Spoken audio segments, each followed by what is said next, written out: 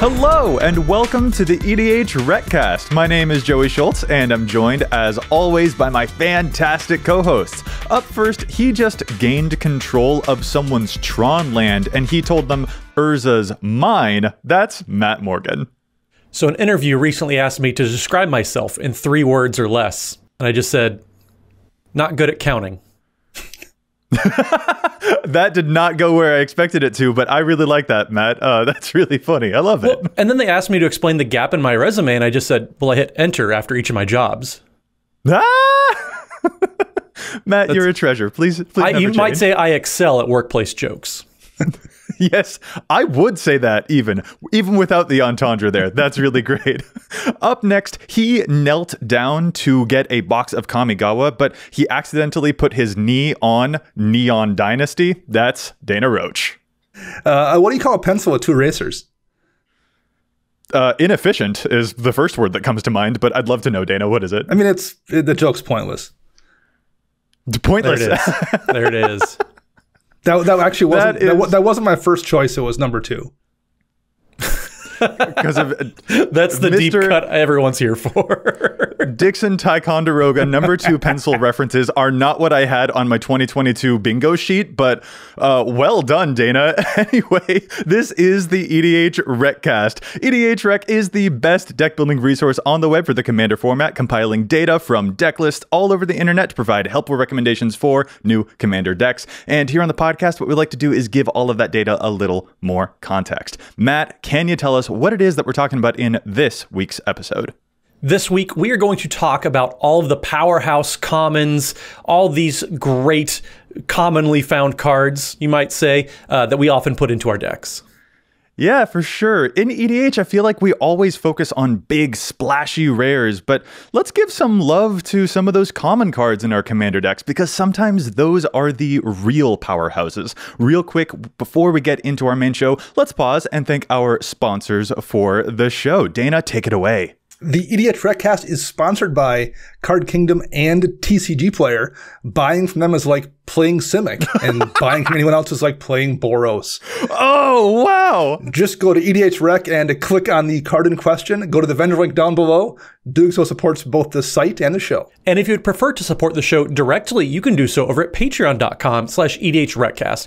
We have patron tiers of all sorts of levels, and it's just a great way to get yourself some extra perks while supporting the show, whether you want to join the Discord community that we have, whether you want to see all the episodes a day early, we have early access channels there as well. There's all these perks you can get for yourself and more over at patreon.com slash edhrecast. Even the prestigious weekly shout out, which we're going to give this week to Matt Vanderveen, uh, one of the most powerful names in all of the world, and maybe even like a top three last name. So that the Vanderveen is just. I, that's a great name to say. So thank you so much for your support, Matt. We definitely appreciate it. And shout out to a fellow Matt. Thank you, Matt, and thank you, Matt. That was darling. You're that welcome, and you're welcome. oh man, that's great. And also, before we get into our main topic, we also have one other uh, thing that we should uh, check off the list real quick here too. So, folks who've been watching the YouTube version of these episodes may have noticed that the set behind me has been a little different the past couple episodes in that it maybe possibly might kind of resemble the set at the Command Zone podcast. So, yeah, let's explain that real quick. Um, so, we have had an absolutely terrific two years working with the Command Zone where they have handled the post production on the show. And it was always the plan for me to learn the ropes and learn to take over the post production part for the EDH Rec cast. But, you know, at around at some point in the in the distant past, the funniest thing happened that um, may have shut the whole world down for a while and kind of always put those plans on hold. But things have finally recently worked out. So I have been here in LA learning the ropes, and joining me has been our friend Chase, aka Mana Curves, who has recently joined the EDH Rec team. So Chase and I will now be producing the show together, as well as all of the other fantastic content that you can find on our EDH Recast YouTube channel. It has been an absolute blast for us to learn video editing and production techniques from these absolute top tier professionals, and we're so excited to carry those lessons into our future content and to bring you the same high quality show that you love. Yeah, we definitely appreciate the Command Zone and all of their just enormous help continuing our show and developing. Uh, this isn't a goodbye by any means. We still love them. Uh, a fantastic crew over there, whether it's uh, the producers, the background people you never really get to see or talk to. They're all fantastic. We appreciate all of their help. This is definitely not a goodbye. It's just a shift in our relationship, and we definitely still value them so much. They're great for the community. And uh, if anybody out there needs some help with their podcast, they are definitely an amazing resource. So thank you so much to the Command Zone. We appreciate all of your help over the past few years, and we look forward to uh, what we're able to, to bring from those lessons yeah, I mean, this has been an amazing experience working with them for sure. Um, and fortunately, Matt and I will make this really easy for Joey. We kind of do it all in one take, the two of us. Um, so it, will be very easy for for Chase and Joey to pick this up. I think. Yeah, it's totally just one take. I mean, we don't do anything at all to make you look as pro and on it as you are. I mean, it's the, the amount of work it must take to make Matt and I look like professionals boggles my mind. Yeah, there's there, it really it's nothing. We we barely do anything at all. Like well, all the work that you do do, whatever it is, um, all the wizardry that you do, we we appreciate it and thank you just so much for everything, yes. all the help you've been over the past few years. Oh, it's it's honestly been a pleasure to work with all of you and get a little peek behind the scenes to every episode. You all are so delightful and I really enjoy the show. I know we all do and we are so happy to see you all continue to grow and be able to do something like this. So, uh, thank you for allowing us to be a part of this with you. Thank you. And and, and thank you. Yeah, we wouldn't be here if it weren't for you and just the entire crew over there. You guys have been so helpful, and we just, yeah, can't say enough how much we appreciate it. All right. Well, I guess this is our final send off. So I will see you all later and maybe on a stream or two. That would be lovely. Bye. Bye. Ah, what a terrific goodbye from Ashlyn. Thank you so much. It's been such a treat. Oh, I'm yay, yay. That was well, that was awesome. I'm really I, excited. It's going to be so awesome. Actually, Joey, can I make a request? Can we have Ashlyn come back on? Uh, she's way more fun just between mm. Dana and I. Um, call me Matthew. Crazy. Matthew, I might have to replace you with Matt Vanderveen if that's the, the route that we're taking. He's he's got a power name. It makes sense. Power name, power name. All right, yeah. Thanks so much. That was a uh, a terrific. Wanted to let everyone know what's going on there. It's a really exciting announcement, and we so look forward to this future. But for now, let's get into our episode. Let's get to talking about those powerhouse commons, the amazing cards that we are playing in EDH. Even though they're just a little, it's a black or a white set symbol. It's not the rares. These are still cards that like can sometimes overshadow the rares that actually end up in your deck. And Matt, I gotta say, I think this episode was really inspired by you and a whole bunch of your challenge the stats picks because because you've been challenging cards like Reckless Impulse and other cards like that that are from these recent sets that can kind of get overlooked, but they really shouldn't be because even though they're just commons, they do a bunch of work. And these are always the easiest cards to get overlooked during preview season. And you circle back, you're sorting through bulk, you're like, Oh, that card actually does do a lot of work. Uh, I love these types of cards. Uh, there's always some really interesting budget builds out there. Uh, people make the uh, Pauper commander decks where everything in there is a, a, common or an uncommon. There's all sorts of different ways, and just even in a typical deck uh, with no restrictions, you can find some very powerful upgrades from playing cards like Defile that I challenged before. Oh yeah, or Reckless Impulse, like you said. There's all sorts of great ways to fit in little power bumps, these little incremental value pieces um, in these common and uncommons. Yeah, for sure, Matt. You really love challenging those because you're right. It is so easy to overlook them, especially amidst all of the deluge of product. So let's give some love to some of those. And first, I think we should probably get our bearings to understand what are the most popular commons that show up in uh, Commander. Let's take a look at the numbers just to see where the field is currently at. And naturally, if we're going to be looking at the most popular commons, we'll obviously start off with the classics. So cards like Command Tower, Arcane Signet, Evolving Wilds, Terramorphic Expanse, these are hugely really popular because they can go in any number of decks. And if you're watching the YouTube version of this video, you might notice a fun number there on these uh, on these cards and how many decks they can go into. Yeah, we've hit over a million decks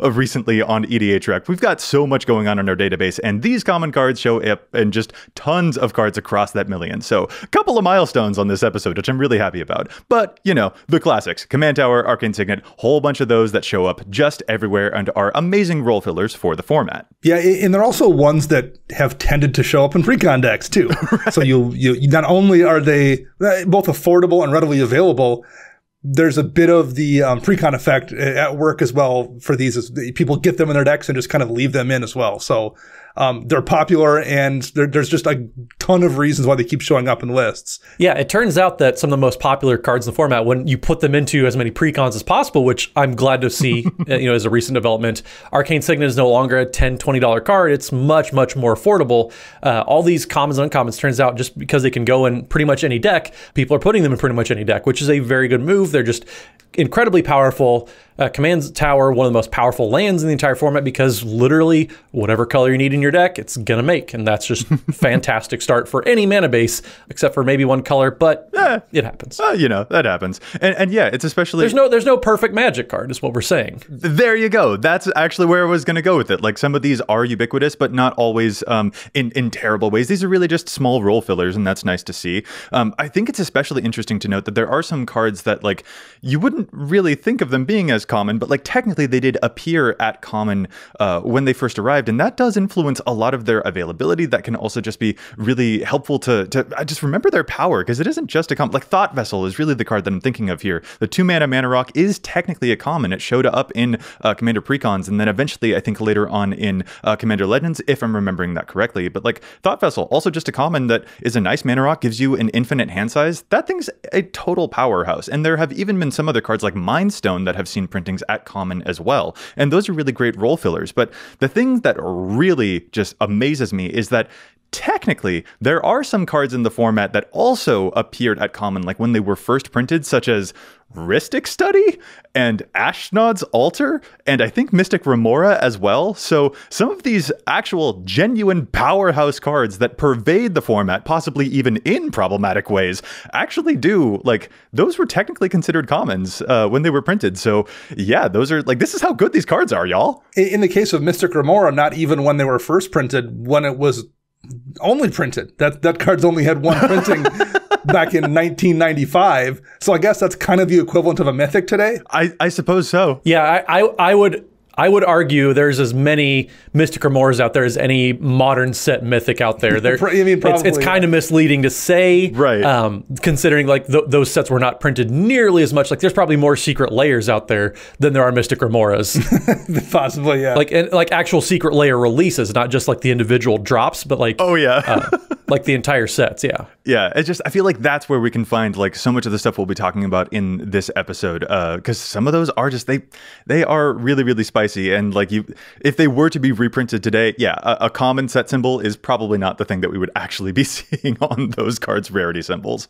Um, also for reference, let's briefly go through some of the colors just to again get our bearings. Like Matt, what are some of the most popular green commons that we see in the format, and do they have a specific theme or anything in common with each other? Um, they certainly do have a theme recurring with them. Um, besides the fact that they're green, of course, um, that's it's kind of a no-brainer here. Um, but the most commonly played common card in green is going to be Cultivate, which was printed in um, numerous mainline sets, but also has made its way into many, many precons as well. Um, but Cultivate is going to be that card. It's one of the staples of green ramp. It's three mana for sorcery. Grab two basics, put one on the battlefield, one into your hand. Uh, just a powerful, powerful effect. And there's a reason why this is the most played common because it outpaces even a lot of rares and mythics because it's just such a great effect that you want in so many different decks. It gets you ramp, it gets you your colors that you need. It's, it does a whole lot of things that you just want to be doing in any given game. Uh, that's why it's showing up in over 232,000 decks. Not 232 decks, like Dana would p- probably point out, uh, 232,000 decks. I mean, yeah, it, it's insane how many decks that Cultivate shows up in. And, and then you just go down the list for green cards here. It's just all ramp spells. It's Kodama's Reach. It's Rampant Growth. It's Sakura Tribe Elder. It's basically a list of the cards that you would consider staples in green.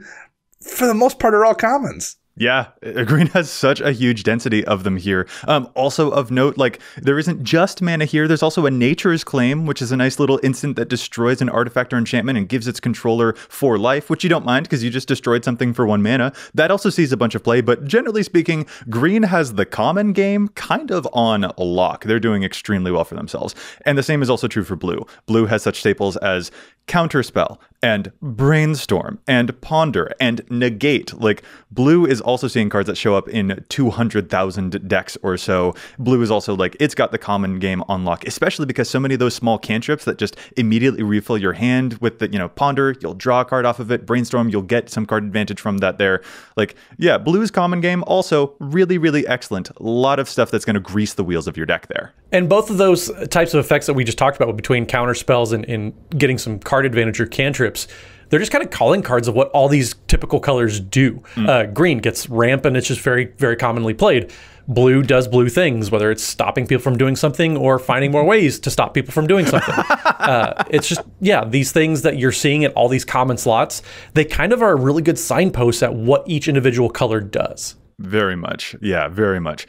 Moving into black, we're also seeing slightly lower numbers for some of these, but like still very important numbers, I would say. For example, like Feed the Swarm is a recent black common that has skyrocketed in popularity, already showing up in 65,000 decks. And that is the black sorcery that can finally let black kill off enchantments. Costs a little bit of life to do it, but man, that is so worth it. And then as long as we're talking about black, I mean, some of my favorite black cards are also commons, such as Viscera Seer to let me sacrifice my stuff, or an amazing win condition, Grey Merchant of Asphodel, to drain life from opponents. Like, again, this is what we're talking about when it's just these commons and how good they are. Grey Merchant of Asphodel is like one of my absolute best win conditions in my Meren of Clan Nel Toth deck. Like, these cards are so dang good. These are some of the things that I specifically tutor up before I'll find other rares. These cards are phenomenal. Yeah, I mean, read the bones. One of my favorite spells ever printed in in, in black, a common, and it's in a gazillion decks, showing up as as one of the kind of premier commons in the format for black. And, and I would also argue Grey Merchant of Asphodel, just because you're able to just dome the table, probably has won more games than any other common out in the format. Yeah, probably. Just single handedly. Like, oops, oops, I came around and uh, I won. Honestly, that's pretty fair. Matt, what about red? Let's move away from those big three colors that we know, but like moving into red and then later to white, what are we seeing for the color red in terms of its common cards that are commonly played in EDH?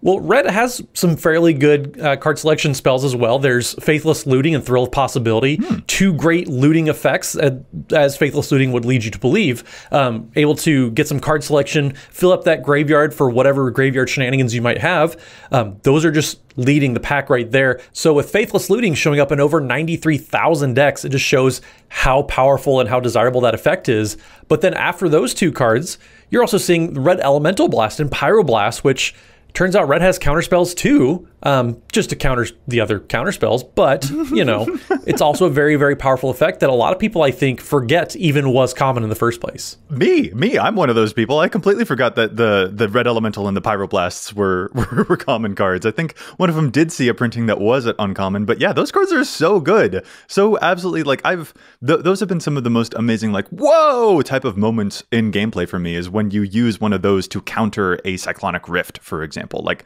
I I love those, and I am surprised to see them being among the top played common red cards in the format. Well, what's really interesting too is a trend that kind of continues here.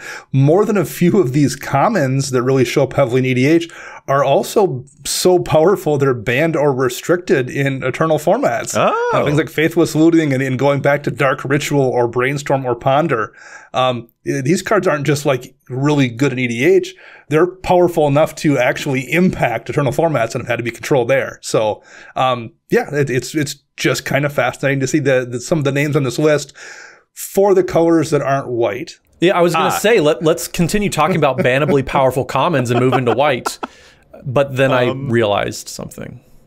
Yeah, so this uh we we didn't want to find this. It's just like when we were looking through these, this is just these are the numbers that we found that yeah, the most popular white common card in the format turns out to be Soul Warden, which is admittedly a really good card. One mana, one one in white. Whenever a creature enters the battlefield un- that under anyone's control, you'll gain a life. Like that's actually a really awesome card, and it shows up in twenty three thousand decks. But like note already the difference in statistics there. We're talking about the most popular white common card shows up in twenty 93,000 as opposed to Cultivate was showing up in 230,200,000 or even literally, t- literally 10% of decks. Uh, right. Or like even when we were talking about red, like Faithless Looting was showing up in, in still 93,000. Like this is a good white card for sure, but it's also, it, it belongs to a certain strategy. And the next most popular white card uh, at common is Ephemerate, which is a blink card. So interesting thing that we see about white is that it doesn't seem to have a lot of common cards that suit all types of strategies, regardless of whatever your uh, your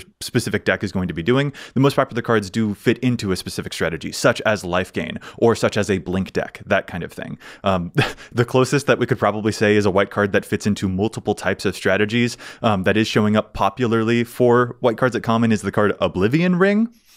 Um, but I have thoughts about that. I don't. I don't think people. I don't think that should be a popular white common card in this format. I don't think Oblivion Ring is very good in EDH. So um, I just want to see some changes here. I'm sad at the numbers of that we found, but I hope they change in the future. I mean, uh, Oblivion Ring, as well as Ephemerate and Soul Warden, don't quite seem like they're in the same class Grey Merchant or Dark Ritual or yes, Counter Spell or Brainstorm. So yes, I, I think uh, yeah, one of these things is a little bit not like the other. I had to scroll through almost 140 of the most popular common cards in the entire format before I found a white card, and that makes me sad. that is the thing that makes me sad, and I don't like it very much. Um, but you know, I'm again hopeful that it uh, sticks out in the future and that things will will shift around. Uh, but yeah, there's a lot that you can discover about EDH and its principles. I think by observing the things at the common rarity and not not just at the rare rarity. Um, and, and, this actually does make me kind of want to also get into a fun new statistic here of us examining what is the deck that plays the most commons? What is the deck that plays the least number of common cards? Um, Matt, do you think you would have had a guess about which strategies or which specific commander would play the most commons in their deck? Um, I I would say just because I had once a Spellslinger Shu Yun the Silent Tempest deck that had a lot of combat tricks in it because I want to be able to activate the prowess ability and all that kind of fun stuff. So anything with a lot of combat tricks in there, whether it's Titan Strength or, or uh, Brute Force, anything that just gives a little combat pump, uh, that might be something. So probably a probably a fair amount of red decks. Uh, maybe I would even say some blue just knowing how powerful Ponder, Preordain, Brainstorm are. All right, makes sense. Dana? I, I would have guessed the number one and number three as being somewhere in the top three or four. I wouldn't have guessed uh, number two, which is Adeliz The Cinder Wind. Um, I would have Zada, Hedron Grinder, and Feather would have been my number two guesses. Just having played against those decks and seeing they just tend to run cards that you always have to say that does what now? it's they're it's they're, they're filled with commons that do a not necessarily that amazing thing that tends to draw you a card or be very powerful in the aggregate. So um, that I wasn't surprised about those two, but the Adeliz one kind of caught me off guard. Yes, yeah. So Zada at number one, which plays an average of 40 commons in the typical Zada deck. Uh, Adeliz at number two, which is the wizard that pumps up all of your wizards whenever you cast an instant or sorcery spell. That plays 34 commons on average. And then, as you noted, Feather in the number three spot plays 33 commons on average. And you're right, they tend to play a bunch of these small cards that will do actually a bunch of work because you are spreading them out over the course of either several turns or across an entire army. But I will confess to you guys that I actually tricked you with this question because those are the answers, but they're also technically not the answers because the real answer is any deck that uses persistent petitioners, which you can have any number of copies of in your deck, or Rat Colony, or Dragon's Approach. So those are technically the real answers because you're not going to play just one, you're going to play like easily 33 of those specific common cards when you're playing that strategy. So, haha, tricked ya. They're definitely the Pringles of decks. You can't have just one. Uh, I would I would say that the Pringles of decks are actually Commander Legends foils. fair point. That's uh, a fair point. Can can confirm. Can confirm. Can confirm. Yeah, maybe the pistachios. You can't just have one. Would, would that be better, Dana? that'll, that'll work for that. Um, we're thinking about getting pistachios as our new sponsor anyway. So um, pistachios, they're green. They're green, like cultivate. Uh, anyway, let's move on now to the inverse of that question. Those were the commanders that play the greatest number of commons, but again, I didn't want to find out this information, but when we looked through the numbers of the uh, the commanders that played the least number of commons, basically anything that's mono white, sort of like we saw before, big stats here, but like there are nearly 1,000 Avacyn Angel of Hope decks, and on average, they contain one common card in them. Or uh, there are 800 ish Elesh Norn decks, and they play an average of two common cards in them. Um, so yeah, it just seems that there aren't currently a lot of good uh, white commons to pump up those types of numbers. I again hope that that changes. But yeah, just uh, a funny thing that we can see, I think, about the health of the format does seem to also be impacted quite a lot by the cards that we see just at that single base rarity. You know. Now I would argue for mono white at least if we opened this up to uncommon specifically, uh, still excluding rares and mythic rares, I think white would do much much mm. better because there's a just so so large amount of powerful uncommons whether it's swords of plowshares and path to exile. Those two are some of the most played cards in the format not just at uncommon. Uh, i think white would do much much better if we open it up to uncommon but since we are only looking at common specifically yes white definitely is lacking here I, I really appreciate that. That's a good observation, Matt. Thank you. Yeah, because the the rares and the uncommons, it's not like they don't matter completely. Um, and there are certainly some extremely spicy ones. And I'm also excited to see tons more spicy ones in the future. Based off of Kamigawa Neon Dynasty, there's a lot of spicy stuff happening at Wizards of the Coast. So, like, yeah, I'm, I'm really excited to see what all of that goes on. Uh, but that was just us getting our bearings, understanding where things currently are in the format as they sit. But really, I think the thing that we're most excited to talk about in this episode is going to be our personal favorite favorite commons? What are the commons that we are playing in our decks that sometimes overshadow even the mythics we're playing in our decks?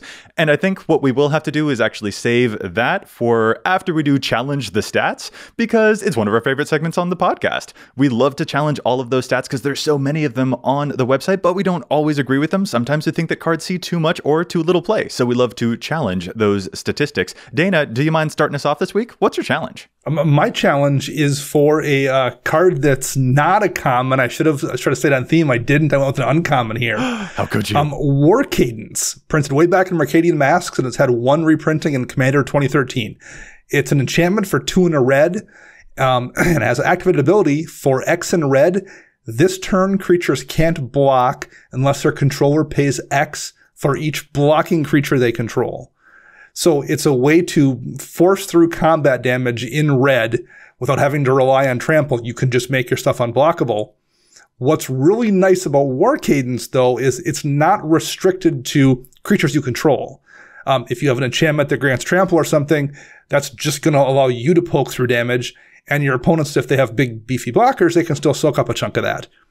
War Cadence not only lets you poke your guys through, if someone else is swinging at one of your opponents and you want to allow their creatures to get through, you can activate War Cadence and make it so their creatures are more or less unblockable unless your opponent spends way, way too much mana.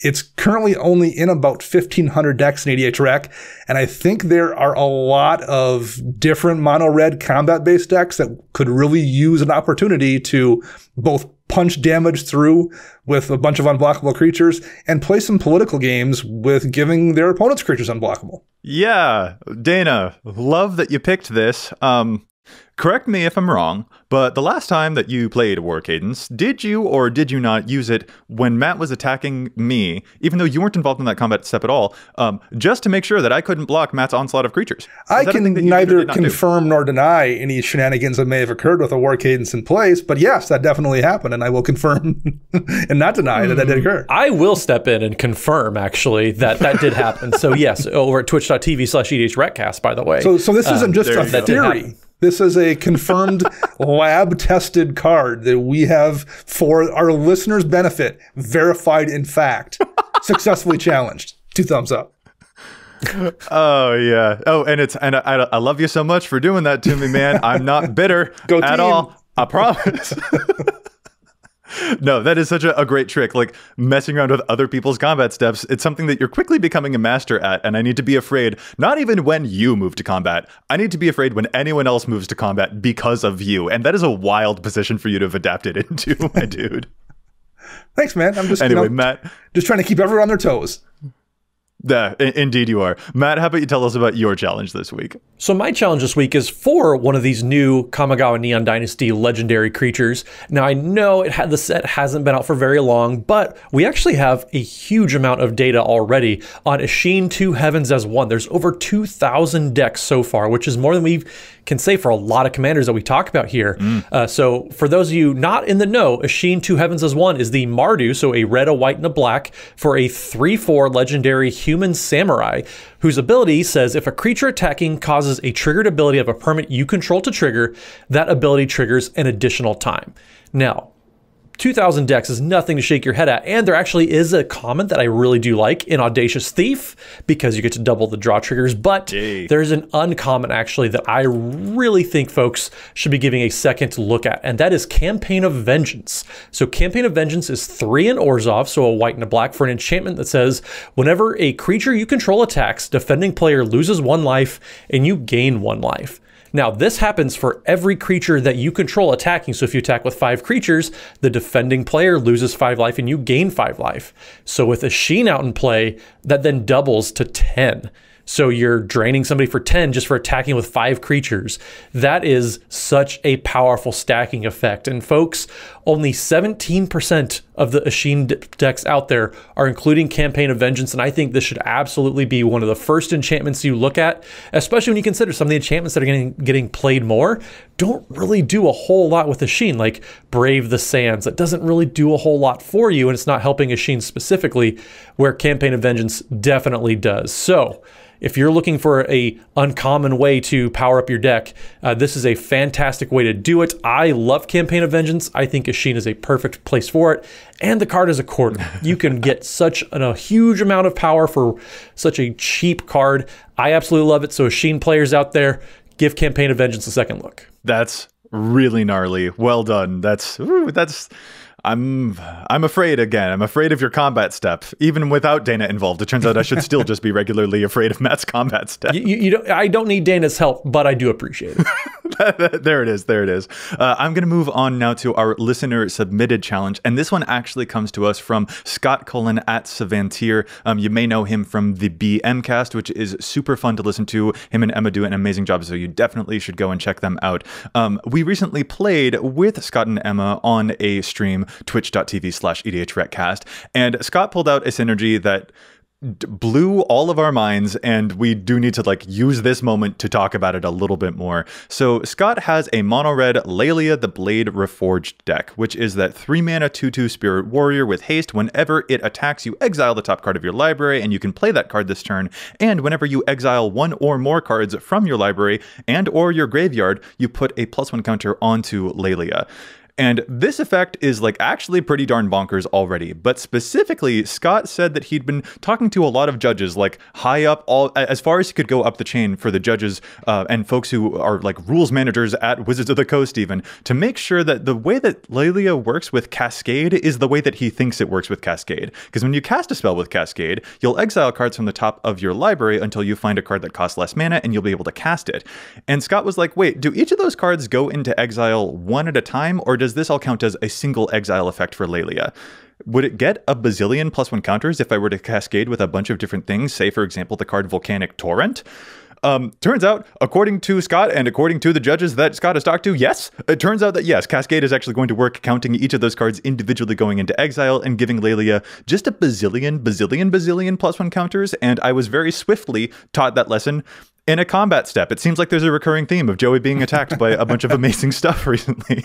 Uh, but yeah, I wanted to use this moment to shout out that is a delicious energy that I don't think is very apparent to everyone. And if you are playing Laelia, it's probably worth it to take a look at these. Volcanic Torrent only shows up in about 19% of Laelia decks so far. There are a bunch of other Cascade cards that you could be using. I think there's even a red common Cascade card that you might want to consider putting into Laelia just because of how good this stuff is. So uh, yeah, Scott, kudos to you. And Matt and Dana, I'm afraid of your combat steps and I hope that these types of synergies will be the kind of thing that I can use to fight back against you. I mean, you, you're more than welcome to fight back, but I really like this pick. That, that makes cards like Throes of Chaos yeah.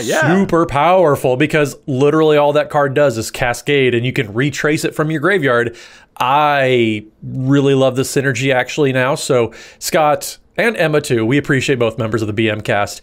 Uh, but yes, this is a this is a great this is a great great find. I, I love this. Yeah, this is fun stuff. Thank you so much, listeners. Let's now get out of Challenge the Stats and into our next part of the topic where we're talking about those powerhouse commons. And specifically, here, what we're going to do is just talk about our favorites. Like we talked about the most popular ones already, but now let's talk about the ones that we ourselves are playing in our decks, the ones that really shine in the decks that we play, in the games where we draw them. We're like, oh man, I'm so glad I got these. Dana, hop to it, man. What is one of your favorite commons that you play, and how much work is it doing for you in those games of EDH? Um, I, I'll mention one that I have in two different decks, and that's Thoughtcast. Um, I love really efficient draw spells that just give me a couple cards. Um, I have Thought de- Cast in my Vela, the Nightclad Artifact deck, and in my SCRN Ardent Equipment deck, decks that have just a ton of artifacts in the list. So Thoughtcast being four and blue um, to draw two cards doesn't sound efficient until you realize it has affinity for artifacts. so it costs one less for each artifact you control, which means 99% of the time it's a one mana draw two. That's about as efficient as you can get in Magic to draw two cards. I, I just love Thoughtcast. Um, I think you probably need to be playing a very artifact centric deck to want to run it. I don't think you can, you want to run it and just hope that you happen to have a bunch of mana rocks out. But in an artifact deck, you just should be running Thoughtcast. It's a crazy efficient card, and I am always happy to see it in either of those two lists. Well, Dana, I feel like you're kind of the master of those like cheap, efficient draw spells. Like Night's Whisper technically has a printing at common, and that's another favorite of yours to draw two, lose two life. You also love Winged Words, which is a three mana draw two, but if you control a flying creature, you'll draw two cards. Yeah. Like you seem to really have an affinity for uh, those types of spells. Do you cost one less for each of these spells that you run? I, I definitely should. I think.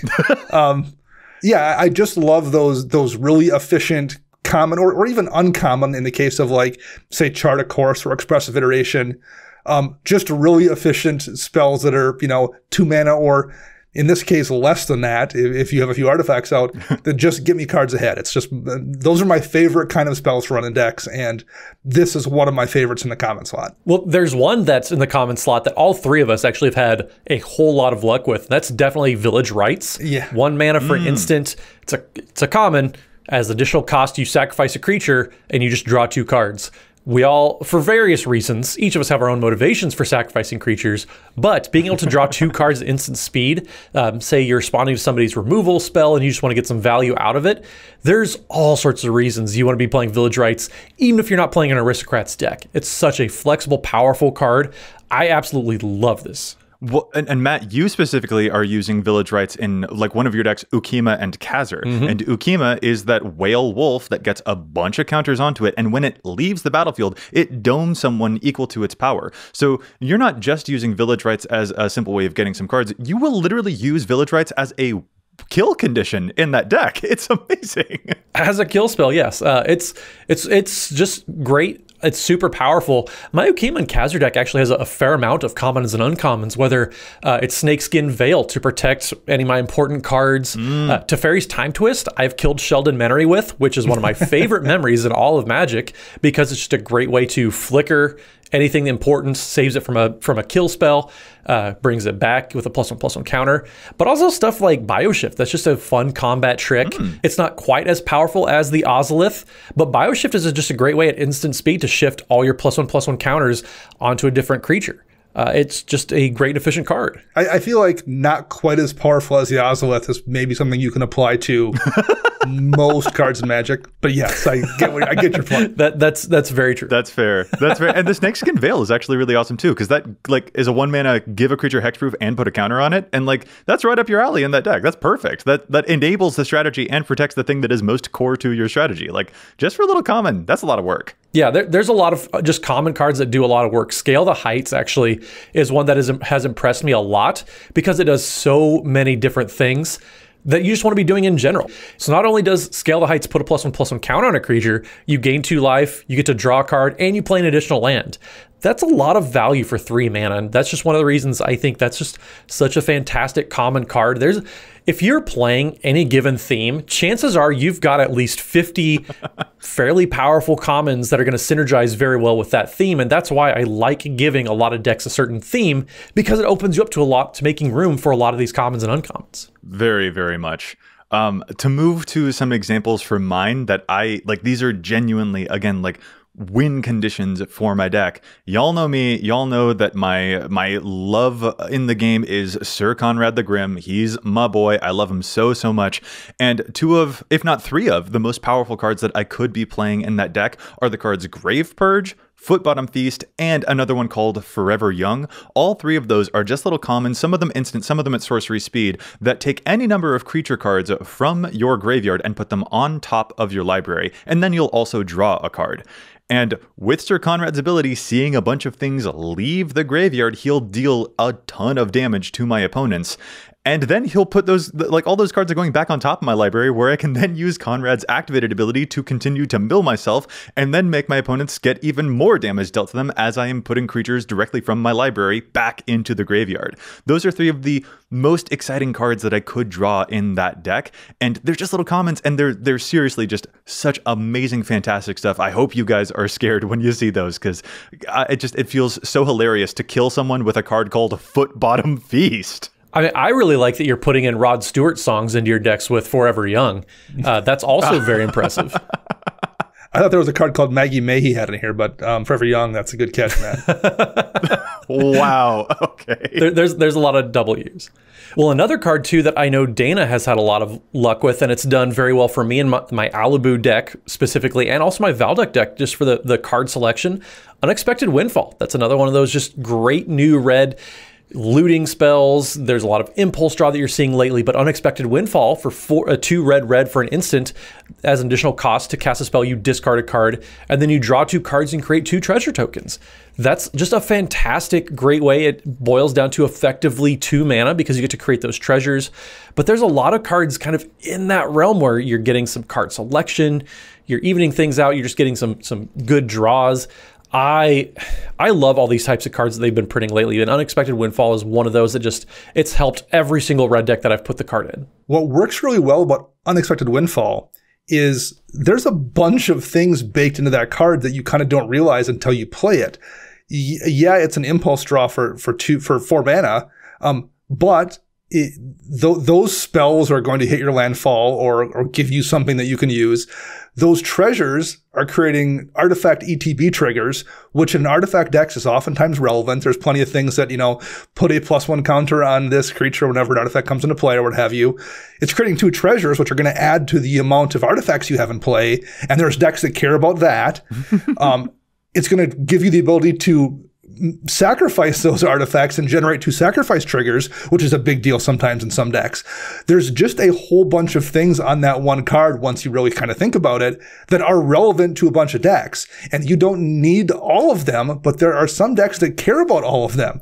So like sometimes these cards become really, really powerful in the right deck. Well, and Dana specifically, you have a Juri master of the Revue deck. Like you just talked there about caring about sacrifice. Right. That's one of those decks where a lot of some like some of the most powerhouse cards that you are playing in that deck are indeed little commons that incidentally make a bunch of sacrificable artifacts. Unexpected Windfall is one of them. Seize the Spoils is another. Deadly Dispute is amazing. Matt, you had praised a, a sacrifice to draw a card earlier. Well, Deadly Dispute lets you sacrifice a creature or a treasure. You draw two cards and you replace the treasure. That's incredible. And Dana, again, speaking of like the, you know, Matt sacrifices his creatures to dome someone with a bunch of damage. You're doing the same thing with your Juri deck, and it's incredible. Uh, Impulsive Pilfer is another one in that deck. It's it's a one mana goblin pirate that's a one one, and when it dies, it creates a treasure token. But it has encore for three in a red, so you can encore it when it's in your graveyard and make token copies that attack each opponent. Um, well, again, that's that's a one mana common spell that that when it dies makes you a treasure. That's you know doing the same thing. It's a it's a artifact ETB. It's a sacrifice effect. Then you're making three copies of that, which all have the same thing again. They're all giving you triggers when they die. They're all giving you treasure triggers, which are all giving you sacrifice triggers. That's a insane amount of value on one common in that particular deck. And there's plenty of decks like that that want all of those things. Yeah, if, if you want any, I mean, really any looting effect, you're, you're probably looking at a lot of common cards. My Rielle deck, for example, loves discarding cards because of Rielle's ability. so I have cards like Tormenting Voice, Cathartic Reunion, where you get to, as an additional cost to that spell, you discard you know, a card or two, and then you just get to draw a bunch of cards. that, those are just such fantastic things. If you like having a certain card type in your graveyard, maybe you're playing an artifact deck like uh, Bosch Iron Golem or, or Daretti you can just use these to put artifacts into your graveyard, draw some new cards because you have access to your graveyard with those types of decks. This they're just great, great effects. There's so many good ways for red to be able to cycle through. And I now that we're talking about it, red has a lot of great card selection spells in this common slot that just you're you're looking at 10, 20 cent cards and you can just get a great, great amount of value for your deck. Well, and hey, Matt, you were just talking about Rielle there, and I know your love of combat tricks extends to Rielle as well, and you, sir, are playing a Temur Battle Rage in that I deck, am. aren't you? The two mana red instant to give a creature double strike and trample if it has enough power, and Rielle is like, yeah, I've got enough power, let's be lethal.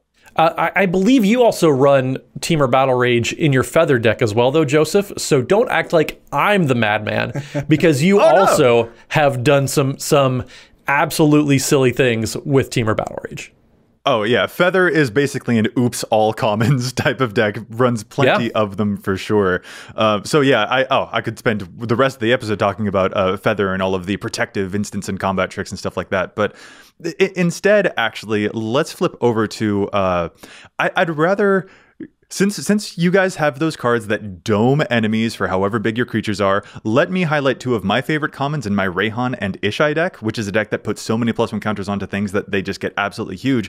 I love playing Essence Harvest and Rite of Consumption, which are basically almost like Black's version of the red card Fling. So Rite of Consumption will sacrifice one of your creatures, and then target opponent will lose life, and you'll gain life equal to the sacrificed creature's power. Or Essence Harvest is three mana, and just target opponent loses life equal to the greatest power among your creatures, and you gain that much life.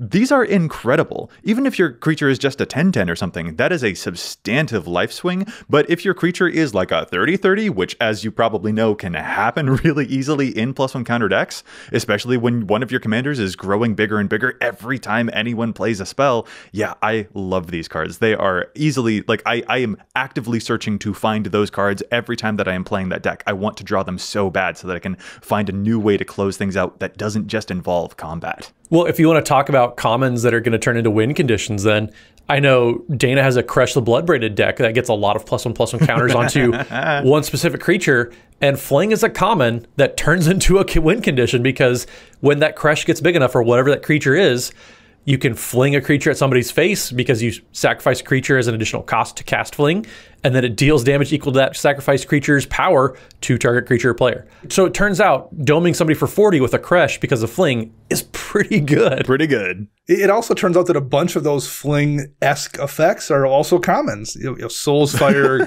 Gravitic Punch, Essence Harvest, Rite of Consumption. Um, a lot of those things just are, are commons because they're maybe not that amazing in a limited environment or in standard, but in Commander, where you're, it's not that difficult to get a 30 30 in play sometimes. They're much more, they're much more powerful. Very much. Hey, uh, Matt, actually, talk to me about your Valduk deck. We've talked a lot about going tall, but um, I, th- I can think of a common enchantment that you're playing in Valduk that goes wide rather than tall. Well, it does. You're absolutely right. And in addition to a lot of the cards that we've already talked about, whether it's uh, some of the looting effects like Tormenting Voice or anything like that, um, yes, there's one enchantment that I absolutely love that is a win condition in this deck. It's basically a baby Purphoros God of the Forge effect. Uh, Impact Tremors is wildly powerful, folks. So with Impact Tremors, you're able to have each creature enter the battlefield and deal one damage to each opponent, which is one of those very, very powerful effects that we talk about where it's not just target opponent, it's each opponent. So five elementals come into play with Valduk's enters or go to combat ability. You're able to deal 15 total damage because it's five from each creature to each opponent. it's so so good. Uh, I just I love it, and that's without even going to combat. I can still attack, and I probably will. Right. But you don't even have to attack with impact tremors. It's just half a Purphoros for half the price. Still powerful. It, it's so good. Heck, as long as we're talking about red and we're talking about things that scale really well to commander, Mana Geyser, five mana red sorcery, add a red mana for each tapped land your opponents control. I can't remember the last time that I've seen a mana geyser that was cast that gave someone less than 15 mana. That usually is going to be like a boom, now I've got 25 red mana in my mana pool. Get ready, the storm count is at one. You know, like that is an amazing red card. Well, we talked about a lot of the the hidden power in in, in the blue commons, but um, you know, they print counter spells in every single set in blue and some of the common ones wind up being very good in other decks. Abjure, for one, for example, is one I run in a couple different decks because mm. it's a one mana counterspell. Um, requires you to sacrifice a blue permanent, but there are some decks that just have a surplus of blue permanents that are always available. My Talrand Sky Summoner deck being one. um, so it gives you the ability to just hard counter a spell for a single blue mana. And in that case, it's going to replace the permanent you're sacrificing anyway. Um, so that's one that I really like. I run it in my Edric Master of Trest deck as well, because I don't mind giving up a flying man to use a one mana counter spell. Um, so yeah, th- that's a place I think things like Muddle the Mixture are also really good Ooh. common counters that you find in blue. Um, another one that I have in a couple different decks because it can be a tutor as well.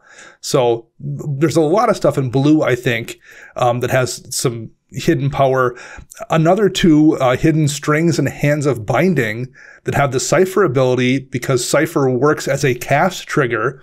So they're cheap common spells that do semi useful things that also generate double cast. So you put them on a thing, swing through, cast it again, so you get double the effect basically the first turn you cast it if you have a creature available, as well as double cast triggers and decks that care about that kind of thing. Yeah, you've made a bunch of drakes with your Talrand deck because of the cipher stuff that you're up to. Mm-hmm. Those uh those are some nasty pieces of tech, dude. I, I I mean I love it though. Like those are genuinely things that are like fueling the entire rest of the deck. They're not just greasing the wheels even. Like the entire strategy is humming because of them, you know? Yeah, it, it also it's fun finding those cards too. Like it's it's not that it isn't enjoyable beating someone in the face with a Sun Titan, because Sun Titan's a great card, but it's also fun finding those weird, useful commons that work really well in your deck because it feels like you've discovered a cool thing. I, I like doing that a lot for sure. And as long as we're talking about blue, I'll shout out one of my favorite cards in my entire Will Wilhelt deck right now is Repository Skaab. So Wilhelt is zombie tribal, and Repository Skaab completely flew under my radar when I first was looking over the Crimson Vow and Midnight Hunt stuff. It's a three mana, excuse me, a four mana three three blue zombie that can exploit itself, so you can sacrifice it or sacrifice another creature when it enters the battlefield to get back a spell from your graveyard to your hand. This has instantly become one of my favorite zombies to ever draw in that deck because if I play a zombie apocalypse, which will bring all of my zombies back from the grave, and then I use the repository Skaab to get that zombie apocalypse back to my hand, no one's going to be able to kill my stuff. Like, my zombies are here to stay. And that is just a little common that does so much more work than I, I thought it would, even when I put it into the deck. And I nearly missed it because it was a common. And that's not fair to the common because it's such a good card. So, yeah, tons of powerhouses here. Right. But also, you know, let's not just linger on blue. Let's go back to green. Matt, I'm sure you'll love us talking about some favorite green common cards here.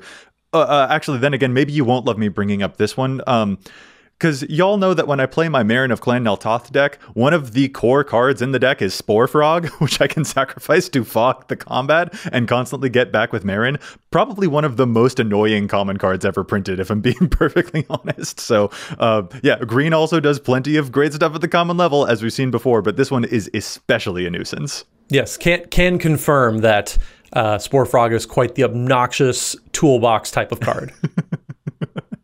well, uh, so what about instead, uh, if that one is not to your liking, Matt, although for the record it's amazing synergy, um, what about a card that I've challenged plenty of times uh, on the show, Stone-Seeder Hierophant? This is a landfall card that is just a common that I do not think people are playing enough in their landfall decks. It's a 4 mana 1 1 that can tap to untap one of your lands, and then it has a basically a landfall trigger. Whenever a land enters the battlefield under your control, you can untap the Stone-Seeder Hierophant. This card's amazing. It is basically a common version of Lotus Cobra. It costs a couple more mana, it's true, but it can also untap bigger and bigger lands that give you more than just one mana. This card is a powerhouse for me in my Titania deck. I love this card so much. Green's got it going on here. Stoneseeder Hierophant, play it, play it, play it. Yeah, if you're playing any sort of landfall deck, Stoneseeder Hierophant is, is a fantastic common. Uh, one other common I think also gets slotted into not enough decks, Khalni Heart Expedition. it's just an enchantment for one and a green with landfall. So whenever a land enters the battlefield under your control, you can put a quest counter on Khalni Heart Expedition. And then at any time, you don't need to do it at a specific time, you can just remove three quest counters from Khalni Heart Expedition and sacrifice it. And you search your library up to, for up to two basic land cards, put them on the battlefield tapped and shuffle your library. So if you need in an Omnath Locus of Rage deck, for example, hmm? two surprise blockers, you can just have this sitting around as one of those infamous Matt Morgan on the board combat tricks to pump out two landfall triggers whenever you need it. Uh, fantastic common. If you, landfall decks actually, I think, have such a great way to play a load of commons, uh, whether it's Broken Bond as a great way to get rid of a pesky artifact or enchantment, Ooh. and also get another landfall trigger. Uh, there's so many good things going on in this this common slot with ramp. We already talked about how green ramps so well. But we didn't even cover some of the great ones like Rampant Growth or Nissa's Pilgrimage either, that are still fantastic ramp spells if you can't find a Cultivate laying around your collection. And heck, when we're talking about green, I mean, Dana, I feel like another one of your signature cards here is a common Lignify. I love Lignify. It, it's one of those spells that just turns off a commander, maybe permanently if the person doesn't have a sacrifice outlet or a way to remove an enchantment. um, some some commanders you just need to remove them from the board for good, and things like Lignify are a way to do that. And while we did talk about the lack of really good white commons, I do think it's worth noting that all three of White's good counter spells, Ooh. Dawn Charm, Lapse of Certainty, and Mana Tithe, were originally printed at common. Yes, those are great. Lapse of Certainty, especially. I've been completely blown out by all three of these. Uh, that's a really great pick. I, I love that. Lapse of Certainty, people really don't see it coming. And hey, if you're playing like a deck that has a Sunforger, all three of those are going to be amazing to go and get super big surprises that will make you feel very, very safe if you have a Sunforger attached to a creature. But even if you don't, those are actually really solid. Those should see more play. Mm-hmm. Those should be more popular than Oblivion Ring. Those should put these cards into your decks. Yeah, Lapse of Certainty, especially being just a hard counter um, yes, they get the card back, but like there's plenty of times that just saves you from losing the game um, I'm a big fan of that spell for sure. Yeah. And hey, I'll throw out one more favorite white common here as well, and that's the card Fanatical Devotion. Y'all know me. Y'all know I love my sacrifice outlets to get a bunch of aristocrats triggers. Fanatical Devotion, I think we've challenged the stats on this card before. It's a three mana white enchantment where you can sacrifice a creature to regenerate target creature. And I just love having, like, uh, this card could say sacrifice a creature, do nothing, and I would still love it. But it is great protection, and I just love being able to sacrifice my creatures at will in case someone's trying to steal them them or exile them, or I just want to have one of those creatures leave the battlefield to do a whole bunch of damage on its way out, or just a bunch of aristocrats triggers. I love Fanatical Devotion too. See that White does have good commons. We people just need to play them more. These cards are amazing, folks. We need to we need to play more of these. These are great cards. Fanatical Devotion is a very good card that I think I've forgotten about more times than I've remembered it. uh, I mean, obviously, otherwise I'd have it in more decks. But it, it's great if you're if there's a valuable target that you have laying around and you have a less valuable target target it's a great way to just swap them. There you go. There you go. Oh man, so, yeah, this is this is a really fun episode. Matt, thank you so much for challenging the stats on so many cards, like the reckless impulses that we've seen over the years, like the defiles, all of those. Um, I, I think it's just so important to always remember to look out for these cards that might be greasing the wheels a whole lot. They might be the thing that makes the strategy work, or they might sometimes even be your win conditions. This is a really fun episode, and uh, so Matt, thank you so much for constantly keeping these at our attention because we don't well, want to overlook them. You're very welcome. I didn't want to deprive everybody of, of a bad topic for once, which is actually, folks, that's another fantastic common counterspell. Deprive. Pick deprive. well, well done there. Listeners, we would love to hear from you about what your favorite commons are in your EDH decks. Which ones are you playing that just deal a whole bunch of just amazing stuff, even though they are just a common? Sometimes they might be better than your rares. They are definitely worth investigating.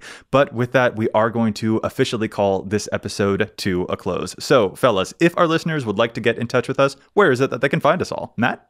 So you can find me on the Twitters at Mathimus55. That's M A T H I M U S 55. And don't forget, Wednesday evenings, we are streaming over at twitch.tv slash EDHRECast.